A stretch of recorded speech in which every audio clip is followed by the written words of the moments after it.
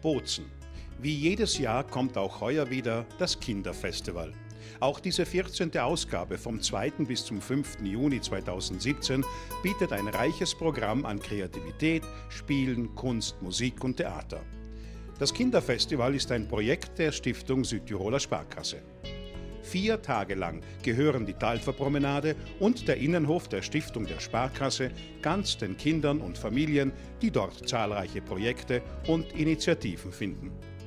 Wir sind da schon also jetzt das vierte Jahr, weil äh, meine Kinder und auch ich ganz begeistert sind von diesen Theatern, äh, Buchvorlesungen, ähm, alle möglichen Aktivitäten, die da geboten werden, sind ähm, wirklich sehr gut. Also, und ja, meine Kinder freuen sich jedes Jahr auf dieses Festival.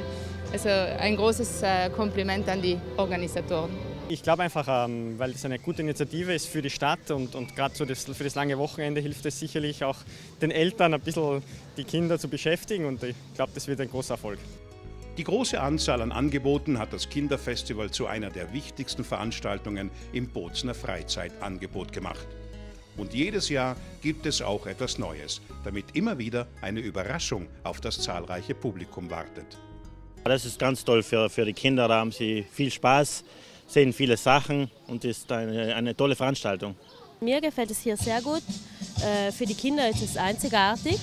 Äh, es gibt viele Sachen, die angeboten werden, Theater, auch kreative Sachen und das gefällt den Kindern sehr gut.